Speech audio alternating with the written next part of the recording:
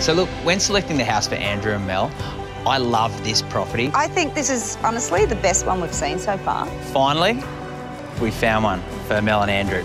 So when you're looking at the property, you want to look at what walls are structural and what aren't. So there's a few different types of construction methods that are used in residential construction.